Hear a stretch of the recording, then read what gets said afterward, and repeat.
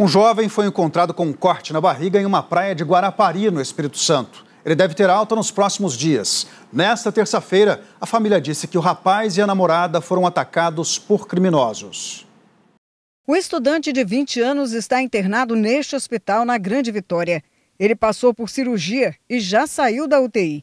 Na madrugada do dia 16 de janeiro, o rapaz foi encontrado com um corte profundo na barriga, lesões no intestino e vísceras expostas na praia do Ermitão, em Guarapari. Segundo testemunhas, foi a namorada dele que pediu socorro. O casal teria acessado o Parque Municipal do Morro da Pescaria, onde fica a praia, por um caminho alternativo, já que o complexo estava fechado. De acordo com o boletim de ocorrência, a jovem relatou aos policiais que, após fazerem uso de entorpecentes, ela não se lembrava mais de nada. A estudante estava com ferimentos nas mãos e foi atendida no hospital.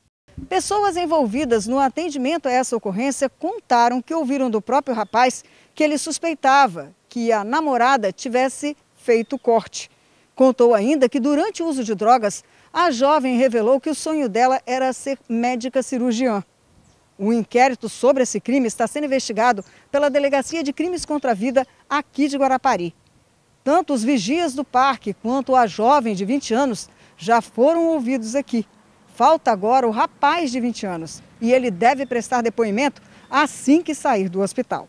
O advogado do casal alega que o crime foi cometido por assaltantes. Eles não se recordam se foi um, se foi dois, se foi três. Nós acreditamos que seja uma tentativa de latrocínio, porque tem bens que desapareceram, que o número de machucados, escoriações, hematomas é muito grande nos dois.